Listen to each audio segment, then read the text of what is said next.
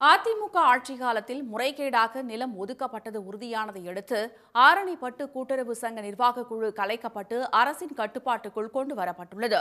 திருவண்ணாமலை மாவட்டம் கொசப்பாளையம் பகுதியில் ஆரணிப்பட்டு கைத்தறி நெசவாளர் கூட்டுறவு உற்பத்தி விற்பனை சங்கம் இயங்கி வருகின்றது இதில் மூவாயிரத்து ஐநூறுக்கும் மேற்பட்ட நெசவாளர்கள் உறுப்பினராக உள்ளனர். இதன் நிர்வாக குழுவின் தலைவராக அதிமுக ஒன்றிய அவைத் தலைவர் சேவூர் சம்பத் துணைத் தலைவராக சுந்தரமூர்த்தி ஆகியோர் இருந்தனர். மொத்தம் ஏழு பேர் உள்ள அந்த குழு நிர்வாகிகள் கடந்த அதிமுக ஆட்சியில் நியமிக்கப்பட்டனர். இரண்டாயிரம் ஆண்டு திமுக ஆட்சியில் இரும்பேடு அரிகரன் நகர் பகுதியில் நெசவாளர்களுக்கு ஐம்பத்தி மூன்று இலவச வீட்டுமனை பட்டா வழங்கப்பட்டது. மேலும் பூங்கா நியாய விலை கடை அமைக்கவும் நிலம் ஒதுக்கப்பட்டது. அந்த நிலத்தை சங்க உறுப்பினர் ஒருவருக்கும் சங்கத்தில் இல்லாத இரண்டு பேருக்கும் ஒதுக்கி முறைகேடு நடந்ததாக புகார் எழுந்தது. விசாரணையில் இது உறுதியான நிலையில் பட்டு கூட்டுறவு சங்க இணை இயக்குநர் உத்தரவின்படி நிர்வாக குழு கலைக்கப்பட்டது.